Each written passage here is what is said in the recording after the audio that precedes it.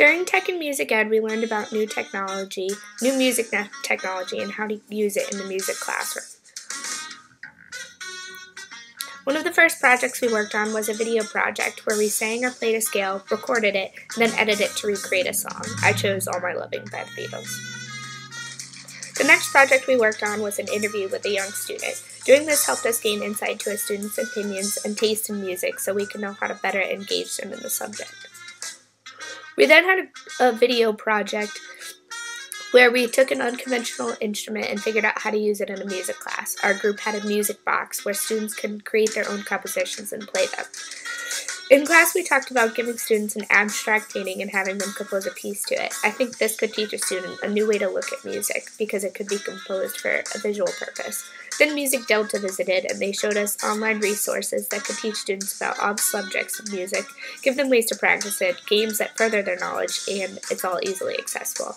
Then we split into two groups and recorded recital hour. It was helpful to learn different recording techniques and how they sound because as a future teacher, I'll be recording too.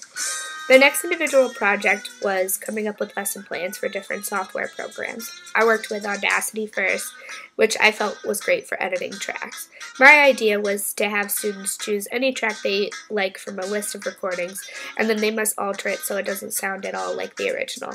This could give them a new way to hear music. The next program I worked with was GarageBand. This included many teaching options, including videos for instrument instruction, pre-composed genres, and ways to compose.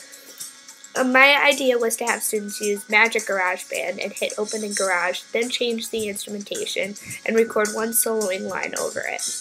The last program I looked at was Noteflight. It's web-based and easily accessible. Students could input scores online, print out individual parts, and the teacher could also edit the scores. My idea was to have them listen to a melody line, then compose an, an accompanying line. Students would be able to work on their aural skills and composition skills. We then began visiting Lowell High. We walked in and there were students sitting at the keyboards and computers, and I had no idea what we were doing.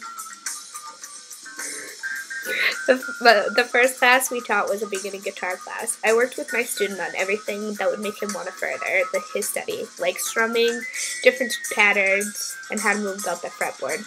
This class helped me learn what not to do as a music educator. Students didn't get much individualized instruction, and a lot of learning was left to themselves.